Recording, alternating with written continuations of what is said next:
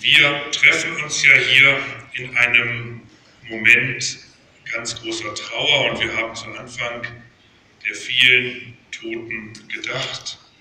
Toten Türken, jüngst in Ankara, Türken, Franz, äh, toten Franzosen, toten Libanesen aufgrund der grausamen Anschläge der letzten Tage. Und es gibt völlig wahllos ausgewählte unschuldige zivile Opfer in immer größerer Zahl, weil Menschen unter uns unterwegs sind, die möglichst viele andere Menschen töten wollen und töten und das, indem sie den Islam als Religion in den Schmutz ziehen. Mich beeindruckt sehr, dass die Menschen über Europa hinaus zusammenstehen dass sie sich dagegen wehren, dass Terroristen versuchen, uns unsere Art zu leben, frei, demokratisch, sozial zu leben, ändern wollen, die uns verändern, verängstigen, zwingen wollen, nach ihren Vorstellungen zu leben. Und ich finde es höchst erfreulich in diesen Tagen, dass es den Terroristen nicht gelingt, Gräben zwischen Muslime, Christen, Juden, Atheisten, Humanisten zu bilden, sondern dass die Christen, die Muslime, die Juden, die Atheisten, die Humanisten zusammenstehen gegen die Feinde der Freiheit. Und gerade in dem von mir vertretenen Land, in der Bundesrepublik Deutschland, bekennen sich in diesen Wochen unzählige Menschen zur bunten Republik Deutschland zu einem friedlichen Zusammenleben unterschiedlicher, unterschiedlicher Hautfarben, unterschiedlicher Sprachen, unterschiedlicher Religionen. Es ist ein Bekenntnis für Pluralität, für Vielfalt, für Offenheit, eben für die bunte Republik Deutschland, in der auch Minderheiten gleiche Rechte haben und in der auch Minderheiten ihre Möglichkeiten haben, zum Beispiel ihre Religion auszuüben und zu fliehen. 1945, nach dem Zweiten Weltkrieg, hieß es überall bei unseren Vätern und Müttern nie wieder Krieg. Man hat die Vereinten Nationen gegründet, um Kriege in Zukunft besser zu verhindern. Man hat die Europäische Union gegründet, die Vereinigten Staaten von Europa auf den Weg gebracht und wollte Konsequenzen ziehen. 70 Jahre später ist man doch mehr als ernüchtert, wenn man Bilanz zieht in dieser Welt und sieht, dass wir heute wieder so viele Flüchtlinge haben in der Welt wie zuletzt 1945, 46, 47. Im Moment sind 60 Millionen Menschen ihrer Heimat beraubt auf der Flucht vor totalitären Systemen und vor Kriegen. Und, das sage ich bewusst, für mich ist die Europäische Union nicht in erster Linie Wirtschaftsgemeinschaft, sondern eine Wertegemeinschaft. Für mich ist die Europäische Union eine Gemeinschaft, die aus den Abgründen des Ersten und Zweiten Weltkrieges die Konsequenz gezogen hat, dass die Würde eines jeden Menschen unantastbar ist. Die Menschenwürde am Anfang steht, weil die Menschen von Allah, von Gott, von Jaffe geschaffen sind, weil die Menschen eben Schöpfung sind und deswegen die Schöpfung von allen zu respektieren ist. Und diese Menschenwürde ist nicht an Christentum und Judentum gegründet, sondern die ist universell. Das sind die universellen Menschenrechte, auf die sich die Staaten der Welt nach dem Zweiten Weltkrieg in der Menschenrechtskonvention verständigt haben. Nur dass diese Konvention der Menschenrechte in immer mehr Ländern, in immer mehr Teilen der Welt mit Füßen getreten wird. Von Mali über Nigeria, Libyen, Ägypten, Jemen, Libanon, Syrien, Irak, Überall ist die Situation, mich jedenfalls, der Kinder hat, zutiefst beunruhigend. Und ich sage mir, als jemand, der aus der Stadt Osnabrück kommt, in Osnabrück hat man den Frieden geschlossen, 1648, nach 30 Jahren Krieg in Europa, der religiös begründet war zwischen katholischen Mächten, evangelischen Mächten. Das Christentum hat Teil der Kriege mitgebildet und zu verantworten. Damals ging es um die Vorherrschaft in Europa und 30 Jahre lang wurde der Kontinent verwüstet und der europäische Boden ist blutdurchtränkt. Aber dann hat man Frieden geschlossen, einen Friedensvertrag geschlossen, der bis heute Wirkung entfaltet. Und ich denke, damals haben alle zusammenstehen müssen, um diesen Frieden herzustellen. Und diesmal müssen alle Mächte der Welt, die Amerikaner, die Russen, die Chinesen, die Arabische Liga, der Golfkooperationsrat, die Afrikanische Union, alle müssen zusammen gezwungen werden, sich auf einen Frieden für Syrien beispielsweise zu verständigen, der dann auch international kontrolliert wird, damit dem, mit dem Morden, mit der Grausamkeit Schluss gemacht wird. Und jeder Einzelne auf dieser Welt und jeder Akteur auf dieser Welt muss sich zuerst fragen, bin ich Teil der Lösung der Probleme oder bin ich Teil des Problems? Und angesichts der Ernsthaftigkeit der Lage eines dritten Weltkrieges, den doch viele von uns für undenkbar gehalten haben, ist wirklich wichtig, dass wir allesamt uns bemühen, Teil der Lösung zu sein, als Teil des Problems. Und hier ist gesagt worden, je mehr Krisen es gibt, desto wichtiger wird die Türkei. Das mag richtig sein. Aber dann gehört zum Bild auch, dass je mehr Krisen es um die Türkei herum gibt, umso mehr in Europa Angst haben, was die Vollmitgliedschaft der Türkei in der Europäischen Union dann bedeutet. Das gehört dann zur Ehrlichkeit. Wir sind hier unter Freunden. Und ich will nicht hier eingeladen werden, weil die Türkei Europa braucht und Sie brauchen mich nicht, weil Europa die Türkei braucht. Sondern ich möchte geliebt werden und ich möchte die Türkei lieben können. Und dann brauche ich sie vielleicht auch. Aber vor allem soll es eine Liebeshochzeit werden und keine sozusagen Zwangsheirat aus Not geboren, eine Zweckheirat, die da hier diskutiert wird zwischen Türkei und Europa. Und natürlich gucken die Leute, wer sind die Nachbarn der Türkei? Armenien, Ukraine, Russland, Iran, Irak, Syrien, Zypern, Georgien, Aserbaidschan. Ich sage nichts mehr dazu als nur Nachbarn, nicht alle, nicht mal alle Nachbarn aufzuzählen dann sage ich mir, was können wir tun, um hier zu einem stärkeren Miteinander zu kommen, der Türkei und seiner Nachbarn. Wie können wir dazu kommen, dass es im Nahen und Mittleren Osten eine Situation gibt wie in Europa? In Europa ist es ausgeschlossen, dass ein Mitgliedsland der Europäischen Union gegen ein anderes Krieg führt. Es ist ausgeschlossen.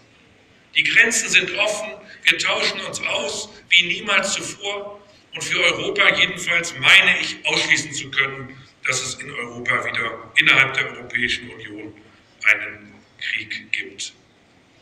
Und wenn hier angesprochen wurde, die Kreuzzüge im Mittelalter, und jetzt kämen die Menschen zurück nach Europa und das sei quasi die Antwort auf die Kreuzzüge, dann ist es insoweit richtig, wie es hier auch der Sprecher gesagt hat, die Menschen wollen Freiheit. Die jungen Leute in Tunesien, wo sich vor fünf Jahren jemand verbrannt hat, wollen Freiheit.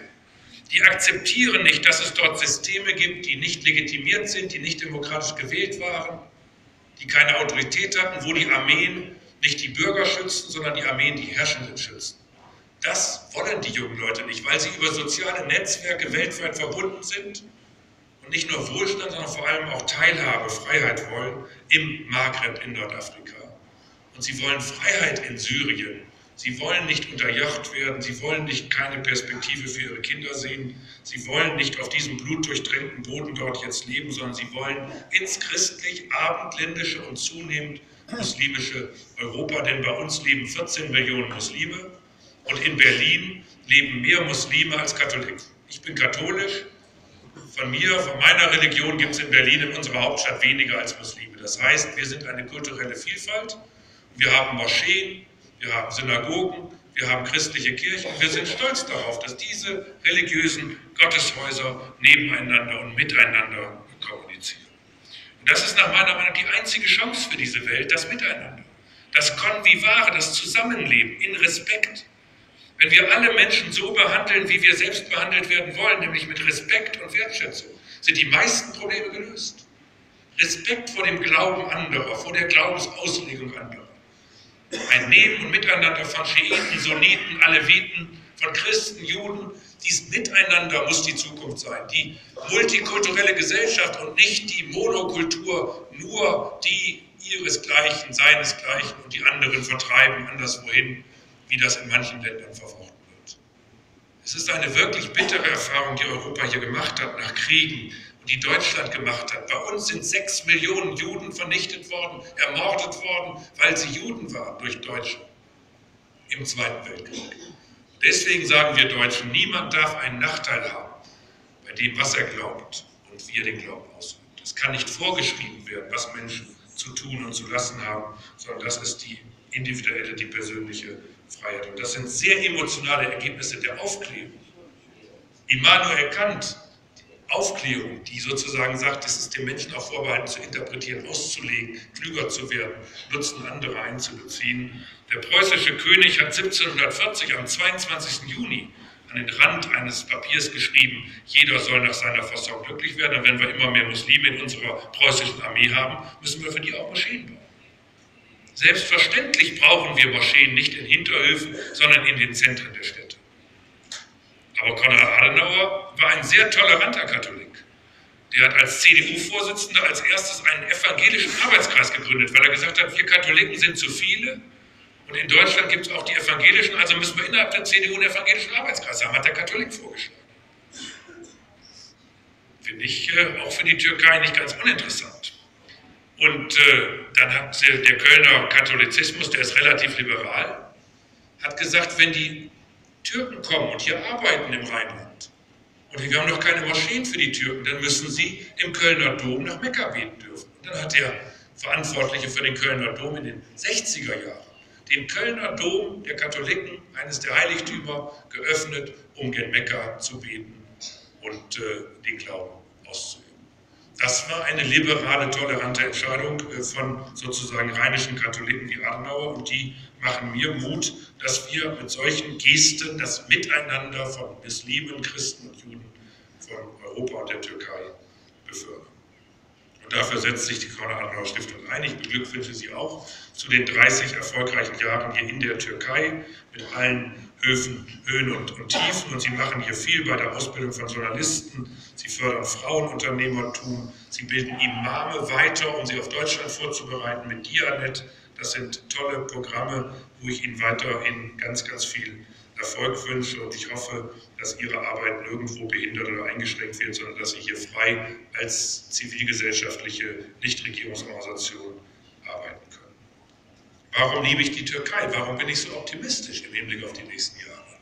Weil ich so viele Türken kennengelernt habe, deren Familiensinn, deren Gastfreundschaft, deren Arbeitssinn, deren Multikulturalität, deren Erfahrungen. Jemand, der bei uns lebt als äh, türkischstämmig, der hat äh, zwei Kulturen kennengelernt, deutsche und türkische Kultur. Der hat zwei Sprachen kennengelernt. Der hat Bewegung gezeigt, Flexibilität gezeigt. Der hat Enthusiasmus für sein Heimatland Türkei, das bleibt ja die Türkei, und für sein neues Heimatland, die Bundesrepublik Deutschland. Es sind ganz einzigartige Beziehungen, dass Millionen Menschen bei uns Arbeit gefunden haben, inzwischen Millionen Deutsche hier den Urlaubsort gefunden haben. Übrigens, die Arbeitnehmer sind bei uns geblieben und oftmals gute Deutsche geworden. So mancher Urlauber bleibt jetzt hier in der Türkei und fährt nur noch mal gelegentlich nach Deutschland zurück. Und viele, die in Deutschland Deutsche geworden sind, kehren in die Türkei zurück. In Tür Istanbul gibt es 3000 Menschen in der Liste des deutschen Stammtisches. Das sind Türken, das sind Deutsche, jedenfalls 3000 türkischstämmige Deutsche und Türken, die in die Türkei zurückgekehrt sind, weil sie sagen, ich will wirtschaftlich auf beiden Seiten aktiv sein. Und das sind Brücken, das sind Bindeglieder zwischen unseren Ländern von ganz großer Wertigkeit. Die wirtschaftliche Dynamik der Türkei beeindruckt uns. Es ist außergewöhnlich, was die Türkei in den letzten Jahren, Jahrzehnten geschafft hat. Und Sie, Herr Yilmaz, haben mit vielen Reformen dreimal als Ministerpräsident und als Außenminister wesentlich dazu beigetragen, dass heute noch Früchte geerntet werden von Bäumen, die damals in ihrer aktiven Zeit gepflanzt wurden. Das waren große Veränderungen, große Modernisierungen infolge von Atatürk 1923 dann mit der Staatsgründung, mit modernem, lebendigem Islam, aber auch einem modernen Staatsverständnis. Und von der Türkei hängt extrem viel ab. Wenn Ihr Modell glückt, Demokratie und Islam, Pluralismus und Islam, Vorrang des staatlichen Rechts vor dem religiösen Recht der Scharia, wenn Islam und Rechtsstaat gelingt, dann ist das ein Modellfall, ein großes Modell für die ganze Welt, die ja sehr, sehr muslimisch ist. 1,6 Milliarden Muslime auf dieser Welt, es werden immer mehr. Wenn Indonesien glückt, wenn Tunesien glückt, die Türkei glückt. Wenn es nicht glückt, dann habe ich Sorge. Wenn man in islamisch geprägten Ländern es als Minderheit, als Christ schwerer hat, als wenn man Moslem ist, dann habe ich Sorge, weil ich nun mal kein Moslem bin. Auch wenn ich, wie Sie gesehen haben, auf Titelseiten von deutschen Zeitungen mit Gebetskäppchen als Moslem äh, beschrieben worden bin. Äh, ich gelte in Deutschland als Moslem, aber ich bin Katholik und auch wenn die Zeitungen manchmal anderes berichten, bin ich jedenfalls noch nicht äh, konvertiert zum Islam. Ich möchte, dass meine katholischen Brüder die gleichen Möglichkeiten haben, ihre Religion auszuüben, bei uns, aber auch in der Türkei. Hier ist das Christentum gegründet worden. Ich bin Ehrenbürger von Tarsus, da ist der Geburtsort von Apostel Paulus. Äh, also das Christentum in Kappadokien als als Bestandteil der Türkei zu bestreiten, wäre historisch äh, nicht durchzuhalten. Und deswegen setze ich mich hier auch dafür ein, dass die Orthodoxen ihre Priester hier ausbilden können. Denn wie soll der griechisch-orthodoxe Glaube in der Türkei eine Zukunft haben, wenn er keine Priester ausbilden darf? Und ich habe in Deutschland dafür gesorgt, dass islamische Religionslehrer ausgebildet werden. Und ich bin auch der Meinung, dass bei uns Imame ausgebildet werden müssen, in Deutschland, damit nicht alle Imame aus der Türkei entsandt werden müssen, sondern auch einige Imame in Deutschland ausgebildet sind in deutschen Moscheen. Das trägt zum Zusammenwachsen von Deutschland und der Türkei ganz wesentlich bei. Ich sehe dieses Riesenpotenzial der deutsch-türkischen Freundschaft. Sie sehen es in Ankara. Damals hat Atatürk Städteplaner, Architekten eingeladen, Wissenschaftler eingeladen, die die Universitäten mit ausgebaut haben. Wir sehen es auf dem sportlichen Gebiet auf dem kulturellen Gebiet. Wir sehen es im Alltag. Ich habe bei der Geburt, der heiligen Geburt des seligen Propheten Mohammed in Köln vor 18.000 Deutschen gesprochen, muslimischen Glaubens. Und der türkische Botschafter hatte Tränen in den Augen, weil der vor Jahrzehnten als kleiner Junge erlebt hat, wie er als Moslem eine Minderheit war und gar nicht stattfand im gesellschaftlichen Leben und damals sozusagen als Moslem völlig fremd in Deutschland, steht dieser türkische Botschafter heute vor 18.000 Landsleuten, türkischen Deutschen, als Muslime, die die Geburt des Propheten Mohammed gemeinsam feierlich begehen. Und unser Eins darf da sprechen und wir sind da Freunde und da verändert sich Deutschland und zwar zur Positiven mit all den Einflüssen, die die Türken nach Deutschland gebracht haben, über die Filmmannschaft mit Fatin Akin, über die Literaten, die Autoren, die Theatermacher, die Intendanten. Und hier in der Türkei schreiben Sülfi, Livanelli und andere Autoren mit der Serenade für Nadja Bücher, die vor dem Hintergrund auch der deutschen Geschichte reflektiert sind. Und es sind die persönlichen Begegnungen. Ich kann Ihnen positiv sagen, die Ausländerfeindlichkeit ist dort am größten in Deutschland, wo es keine gibt. Und da, wo es viele Türken gibt, gibt es auch wenig Ausländerfeindlichkeit, weil man sich kennt, weil man sich schätzt. Mich hat als 16-jährigen Jungen eine Familie Akürek aus der Türkei, aus Anatolien eingeladen, in meiner Stadt Osnabrück. Und die haben gesagt, wir werden hier auf Dauer leben. Wir haben viele Kinder, viele Enkelkinder. Wir wollen unsere Kultur zeigen und wir wollen die Deutsche kennenlernen. Wir laden sie ein. Da entstanden Freundschaften. Und heute gibt es in meiner Heimatstadt einen Akürek-Platz zu Ehren dieses verstorbenen Herrn Ackerek, der eben ein Musterbeispiel war für Integration und Integrationsbereitschaft. Und das sind die Dinge, die uns emotional zusammenführen, verbinden und nach vorne weisen. Wir haben so viele Kulturaktivitäten in Tarabia in Istanbul, die Kulturinstitute, Goethe, die Sprachförderung gegenseitig. Welche Länder haben diese Verknüpfung wie die Türkei und Deutschland? Millionen Menschen. Es gibt kein Land der Welt, wo ich angesprochen werde auf meine Präsidentschaft, nur in der Türkei, auf offener Straße. Da sagt der Monteur auf der Fähre von Bursa, Sie sind doch der und der, ich muss Ihnen mal das und das sagen. Das heißt, die Türken nehmen Anteil an deutscher Innenpolitik und wir nehmen natürlich extrem Anteil an türkischer Innenpolitik. Und da gibt es natürlich die Gefahr von Missverständnissen. Sie verstehen manches bei uns nicht, ich verstehe manches hier nicht. Das ist natürlich eine große Gefahr von Missverständnissen gegenseitig weil man so viel übereinander hört, man so viel voneinander weiß. Und ich komme vielleicht nach meiner Rede, ich habe das jetzt so ein bisschen auf das türkische Sprichwort, wer alles weiß, weiß gar nichts. Super Sprichwort der Türken, vielleicht komme ich da noch drauf auf Türkisch. Und äh, manchmal habe ich das Gefühl, wir können gar nicht genug voneinander lernen und Verständnis füreinander erwerben, um wirklich zum Punkt türkisch-deutscher fester, fundierter und türkisch-europäischer Beziehungen nun endlich zu gelangen. Es gibt da immer wieder merkwürdige Vorgänge, wo ich mich dann frage, warum? Es gibt die Sternstunden deutscher Archäologie. Troja, Ephesos, Hattusha, Göbekli, Tepe, 12.000 Jahre alte Kultur. Auch Deutsche gebuddelt und gegraben. Jetzt höre ich an diesen Orten, weil ich ja nun ständig in ihrem Land unterwegs bin, jetzt diskutieren sie da, sie wollen die deutschen Schriften wegmachen auf den Hinweisschildern. Sie sagen, Türkisch, Englisch reicht für die Welt. Und außerdem wollen wir gar nicht mehr so diese deutsche Geschichte mit den deutschen Archäologen. Wir wollen eigentlich auch unseren türkischen Kindern sagen, das haben alles die Türken alleine ausgebuddelt. Da sage ich mir, das kann man so machen. Die Türken können sagen, Deutsch überall streichen auf den Hinweisschildern. Eigentlich müssen sie dann aber auch verstehen, dass ich mich darüber ein bisschen ärgere.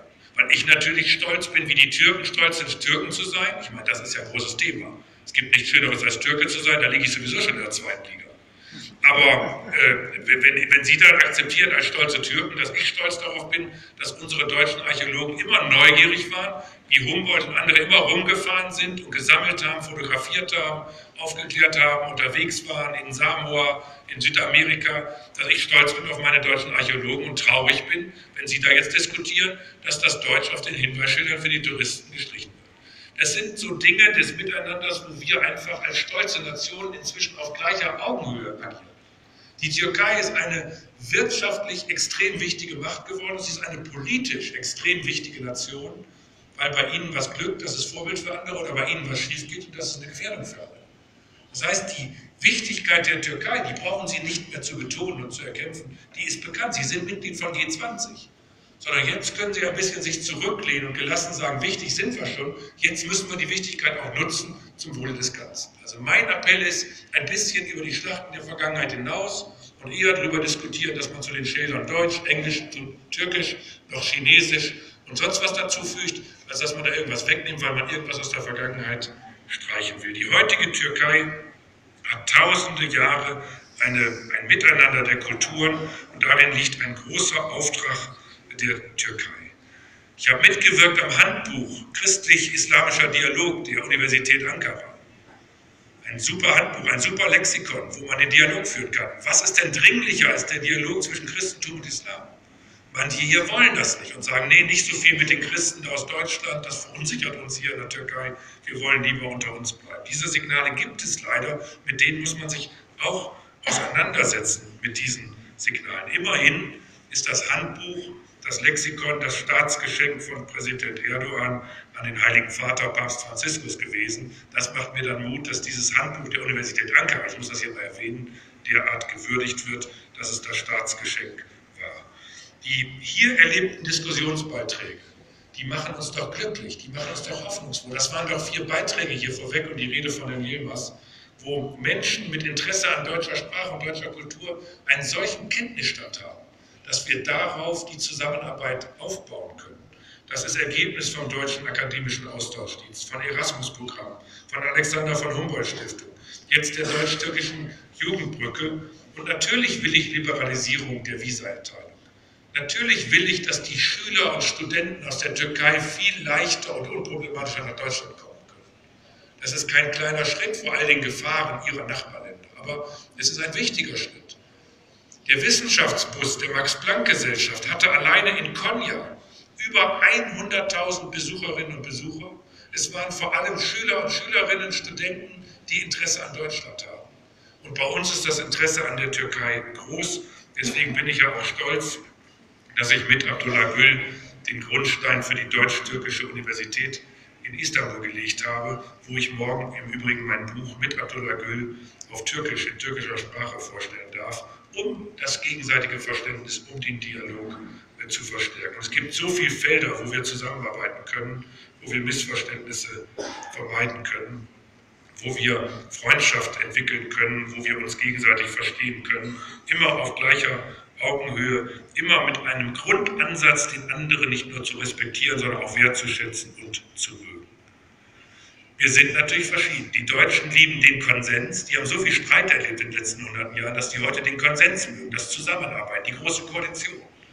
Und Türken lieben im Grunde genommen den Kampf der Fußballvereine in Istanbul und äh, Trabzor und andere, die dann damit eingreifen und, ähm, und, und sehen es ein bisschen oftmals polarisierender. Also ihr großer Schriftsteller Baumann Pabuk hat ja immer wieder gesagt, ich liebe mein Land, indem ich meinen Staat kritisiere. Dafür wiederum wird er stark kritisiert, weil man angeblich sein Land nicht kritisieren dürfe. Aber man darf seinen Staat auch mal kritisieren, wenn es dem Wohle des Ganzen dient. Aber Kritik ist oft sehr, sehr heftig äh, vorgetragen. Ich habe hier viele Politiker gefragt, wie oft geht ihr denn abends zusammen essen, wenn die Nationalversammlung vorbei ist? Wie kommt ihr denn zusammen von AKP und CHP und MLP und äh, der Kurdenpartei? Und dann äh, erlebe ich immer, man kommt nicht so oft zusammen. Man, man, sitzt nicht so oft zusammen, auch nicht mal heimlich zusammen. Um mal so ein bisschen atmosphärisch zu sehen, sind alles Menschen. Es sind ja alles Menschen, motivierte, engagierte Menschen, die Vertreter, die sich für eine Nationalversammlung wählen lassen. Immer mit der Gefahr, wieder abgewählt zu werden. Da möchte ich, dass wir Deutschen ein bisschen gehört werden, dass wir bei uns auch miteinander kämpfen. Jeder will die Wahl gewinnen. Aber dann auch nach der Wahl wieder zusammenarbeiten, weil dann der Wahlkampf vorbei ist. Und ich habe großen Respekt vor der Leistung der AKP und gratuliere den politischen Vertretern der AKP zu 50 Prozent bei einer solch gewaltig hohen Wahlbeteiligung. Das ist Ausweis von gefestigter Demokratie. Aber in der Demokratie muss man auch auf Mehrheiten Rücksicht nehmen, aber auch auf Minderheiten zugehen und äh, man muss Mehrheiten respektieren, aber Mehrheiten müssen auch Minderheiten ernst nehmen und ich wünsche mir einfach am Ende meiner Ausführungen, dass wir ein bisschen uns verstehen lernen, was die Deutschen sich von der Türkei wünschen und ein bisschen zuhören, was die Türkei sich von Deutschland wünscht. Ich habe das jetzt aufgenommen, was man sich alles von Europa wünscht. Und deswegen darf ich hier am Schluss den Punkt sagen, was ich mir von der Türkei wünsche. Ich wünsche mir, dass die Türkei 2023, 100 Jahre nach ihrer Staatsgründung, eine der führenden Wirtschaftsnationen dieser Erde ist, weiterhin ein Stabilitätsfaktor in einer hoffentlich ruhiger gewordenen Umgebung ist, mit einem ganz vorbildhaften, lebendigen Islam die Menschen beeindruckt und dass diese Türkei viele Freundschaften zu ihren Nachbarn ausgebaut hat, viel Versöhnung innerhalb der Nachbarschaft mitbewirkt hat, dass man gemeinsam auch innenpolitisch nach vorne schaut, dass man sich fair und aussöhnt, auch innerhalb des Landes und dass man sich an europäische Standards angewöhnt. Und äh, da ist in Deutschland natürlich die Beobachtung von Pressefreiheit, von Meinungsfreiheit, von einem Diskussionsklima, wo kein Journalist fürchten muss, persönlich Repressalien zu erleben, wenn er kritisch schreibt, ein ganz wichtiger Punkt. Und ich schließe mit dem Satz, und den meine ich ganz ernst, ganz persönlich, ganz menschlich. Ich bitte meine türkischen Freunde, enttäuschen Sie die vielen, vielen Freunde in Deutschland der Türkei nicht. Denn die Freunde der Türkei in Deutschland, die wünschen sich halt eine solche prosperierende, demokratische Entwicklung der Türkei. Mit Frieden nach innen und Frieden nach außen, weil das unser Wirken für die Türkei besonders erleichtert. Und andere Signale, gerade den Freunden der Türkei, unnötig erschweren. Jetzt haben Sie sechs Beiträge heute gehört, die ganz viel Deckungsgleichheit haben und manche kleine Nuancen Unterschied haben. Und das, finde ich, ist wahrhaft Freundschaft. Dass alle sagen, was sie denken, alle sagen, was sie erlebt haben. Und Herr Yilmaz hat ja Jahre erlebt, die ich nur aus der Zeitung kenne, weil sie doch zwei, drei Jahre älter sind als ich. Und äh, ich erlebe jetzt aktuell ein Deutschland, das die Türken mag, das dankbar ist für die vielen Türken in unserem Land, die unserem Wohlstand gedient haben und die unsere Kultur bereichert haben. Und deswegen bleibe ich ein Freund der Türken und bleiben Sie Europa und Deutschland gewogen. Vielen Dank.